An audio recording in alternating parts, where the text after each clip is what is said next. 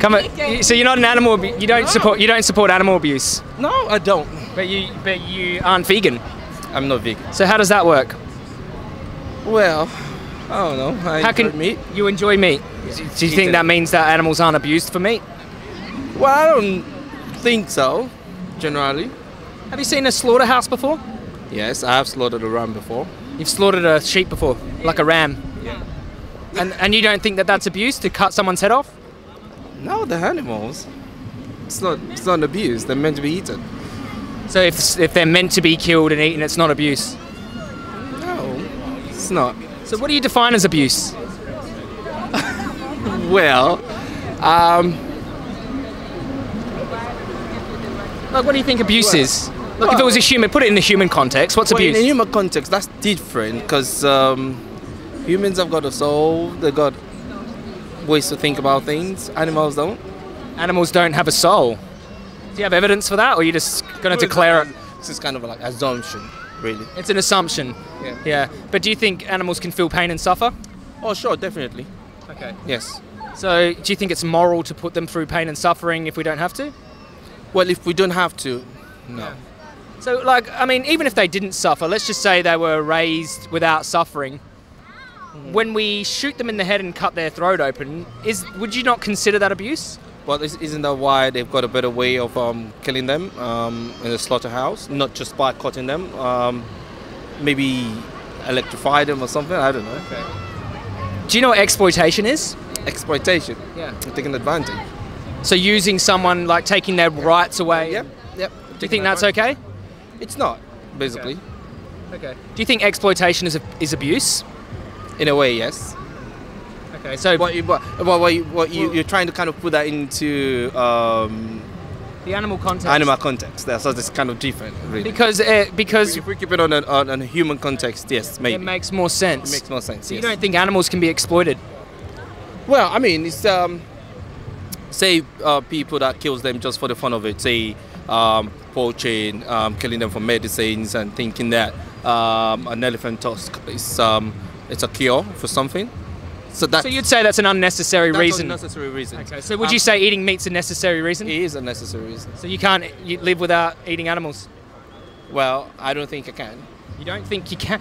You're staring at someone who hasn't eaten animals for five years. Really? Well, I don't think I can. Do I look malnourished? Well, you don't. I mean, it's, I think it's a matter of choice, really. To be honest, I I, I It's a, it is a choice. It's a choice to exploit animals, isn't it? it's a choice as to what you eat and what you like. Yeah. I, I love meat. But that doesn't tell me whether or not it's animal abuse. Well, I wouldn't say it is really, to be honest. I, I, I'll be honest. What, what do you mean? Say that again. I don't think it is. Um, if it's not just about killing them randomly or just shooting them just for the sake of it. I mean, for a purpose, to be eaten. Okay, so if I was going to kill and eat a dog, that wouldn't be uh, dog abuse. Uh, that would be. Oh, that's disgusting. Killing dogs for for. No. That's your cultural indoctrination. Dogs aren't food, are they? No. Dogs, What about pigs? You eat pigs? Well, I don't. Okay. You don't eat them? No, I don't. Do you think gas chambering pigs is abuse? Gas chamber. A third of all pigs in the UK are gas chambered. Well, that's something else. That's um, that's an abuse. That's abuse? Yes. But this is the one of the most humane methods for stunning pigs. Well, I don't think that's right, to be honest. Uh, You don't think this is right?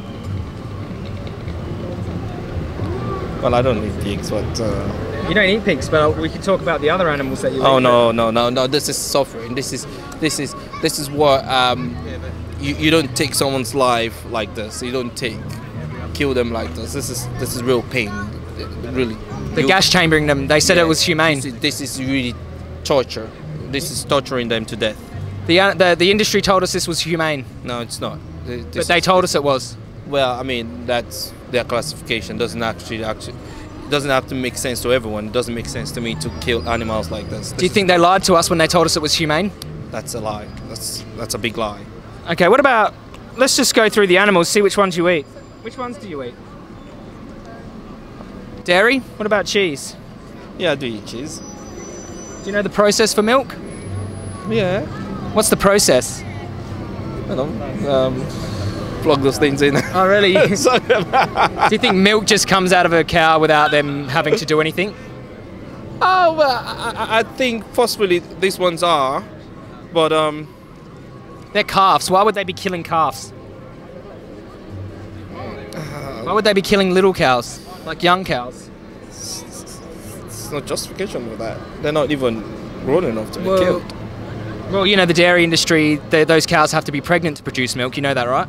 Yes. So what happens to their babies? They allow them to grow normally.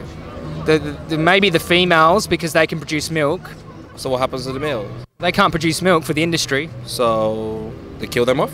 Well, they either dispose of them, the, uh, they dispose of them a short time later. They kill them, or they might raise them for a little while, kill them a, a little bit older, or they might raise them for beef.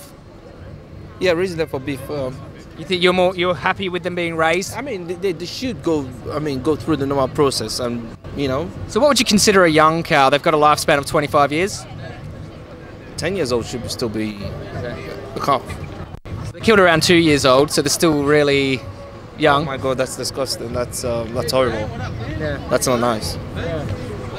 I'm just trying to get to a point where you're like, I want to know why you think paying for these industries to exist isn't animal abuse. I just want to know why you think that. Well, if I think about the way I love my own meat, that's something different, right? Um, I expect them to go through the normal process, grow the normal way, and What's the normal way? Please tell me. Stop being. Uh, I, I can't. mean, like um, You're saying normal and okay, and grow normally, not kill them at two years old. It's pointless. What's what's the use if they, they get them at to their full size and they kill them because if they keep them around any longer, they're using all the resources the farmers have to pay for their food. They have to kill them and make profit from them. Yeah, I mean, if they're killed um, after 20, um, 20 years for, for us to eat, to eat, then that's So, fine. so as long as they're a certain age, we can kill them, and that makes it moral. Well, I mean, uh, I wouldn't say everything I'm saying is justified, but I love meat and I, I love eating it, and I don't even think I can stop eating I used to eat meat. Like, do you think I used to? it. Well, I eat meat every day. So did I. Yeah, so. But I saw this and I didn't think it was right, and I, I don't like to be. I don't like to lie to myself. We can always change the process. Um, we can always talk about the process that this has been done. So uh, where do you get your meat from? from the The shop. from the shop of the butchers. Yeah, you follow those animals to the slaughterhouse. No, no, not in this country. So it's kind of weird in this country where you don't even know how they're being killed. But where I come from, then you know how. Where do you come from? Originally, I'm a Nigerian. Nigeria, and the animals are killed out on the street there, and people are they see that process. You see that process. Why do you think they hide it from the public here? And because they know what they're doing is not right, really. That's it. That's that's the whole reason. Because if if they're being um, gassed, then that that makes no sense to me, to be honest. What about hacked across the throat? Does that make more sense to you? still still still not good? When, Still- when's the first time you've seen an animal be slaughtered? Oh wow. Oh, when I was like what, three years old, two years old, or four, five, six years old. Yeah, I've seen it. Growing up. So how did it affect you? I, th- I just think after a while it becomes a norm. Yeah, it just becomes something that's acceptable within within a particular culture. Did you, cry, did you cry at the start, or It was kind of really shocking initially, yes. Um, but I people didn't like- assured you that it was normal and it's that- fine? That's fine, yes. But your intuition told you it wasn't. well, yes. Yeah. I mean, I still don't feel like you know, just um, tying something and putting it on the ground and slaughtering it is still the best way to, to take life from something. It's Why are we even doing it for? Oh, it's been around. I don't know. I know, I know you like the taste of something, but do you think taste should justify someone's life being taken? No, no. Uh, you're making me feel bad now. well, I'm just trying no, to find, get to the bottom of what you feel about it. No, you know, taste shouldn't. Taste shouldn't. because you're getting you're getting pleasure with taste. Taste is pleasure, isn't it? Yeah. Yeah, it's a pleasure And response. Something I can do without. So you're getting a pleasure response from someone getting their head cut off.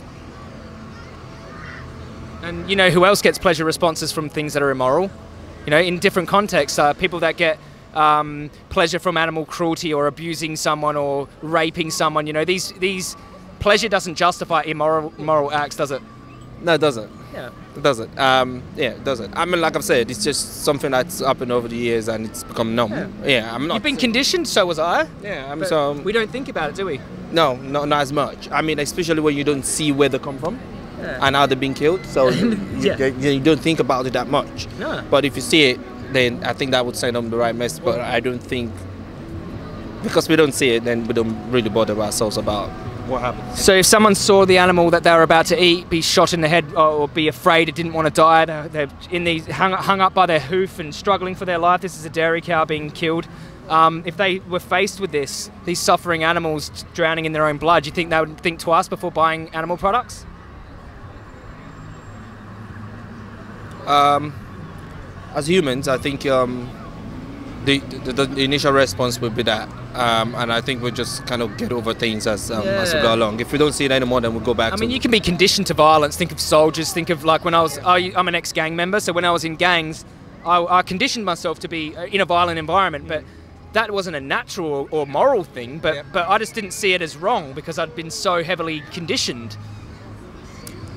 But my intuition at the start, when I first seen someone get attacked, was like, "Whoa, this is scary. This That's is bad." So that's what I mean. Like, even if people see this, after a little while, they just kind of forget about it. It doesn't really actually send them the right message. It's just about, oh, that's not fair, that's cruel, you shouldn't do that. Then people forget and people move on. It's like, uh, it's like someone driving, and um, you're driving on the M25, you see an accident, and you've been speeding all the way down to when you go, till you got to that point. Immediately you pass that and you drive about five, another five, ten minutes, then you forget about about that and, and you carry on doing what you're doing. Yeah. So I think it's just that bit. Yeah. Um, um, and I think it's just um, that it's become a norm Yeah. for, for us to eat meat, and um, it's We've everywhere. accept- it's culturally acceptable. It's acceptable. It's everywhere. There's Many bad things are culturally acceptable at one so- time. Yep. So I mean, it's one of them. So I think we just need more awareness over it. To be honest. So, do you have uh, younger children? Those are my kids. Yeah. Yeah. And what would you think if they realised where meat came from? Do you think they'd want to? Well, it depends. See, see, it depends on what what I say and what I sell out to them. You obviously wouldn't take them to a slaughterhouse to, to see where their food is made. Well, I could do. Depends on um, my So you'd be repeating what happened to you as a little kid. Um, if I want to, if I really want to, like, give them a new idea as to not to eat it, then I could do that. Take them out to the slaughterhouse and say, look, this is not right. This is what happens. And So you would teach your so- children. so if I'm trying to like shift that culture from Yeah. from being from me being the norm Yeah. to something that's not acceptable, then I can actually go down that route. Like you teach your child uh, ethics, like don't hit the dog, um, hurting animals is bad, hurting people is bad. But if we feed them this this uh, flesh where they don't know what, where it come from, we're sort of giving them two different ideas, aren't we? Uh, Yep, that's that's correct. Yeah. Yeah, I accept that, but Yeah. still.